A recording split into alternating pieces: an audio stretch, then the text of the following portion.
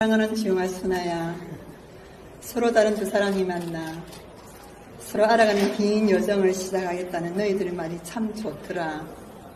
남편과 아내로 긴 여정을 시작하겠다는 것이 그래서 말인데 지용아 그 긴 여정 행복하게 살아가려면 내가 지금까지 살아오면서 좋다, 옳다, 맞다고 생각하는 것들 순 앞에서 빡빡 우기지 마라. 남편으로 살아가는 데에는 유연한 지혜가 필요하단다. 순 앞에서는 가능하면 어 그래? 어 알았어. 이런 말을 많이 하면 살아가거라. 그러면 행복할 확률이 99%란다. 너희들은 이제 서로를 자세히 보고 오래 보게 될 거야.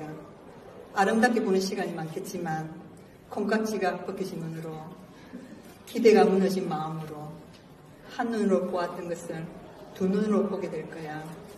이 사람이 내가 생각했던 사람이 맞아 하는 마음으로도 보게 되는 순간도 있을 거야. 그럴 때 잊지 마라.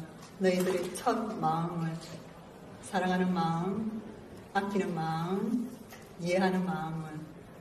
그래서 자세히 보아서 더 예쁘고 오래 보아서 더 소중하게 여기지는 두 사람이 되길 바란다.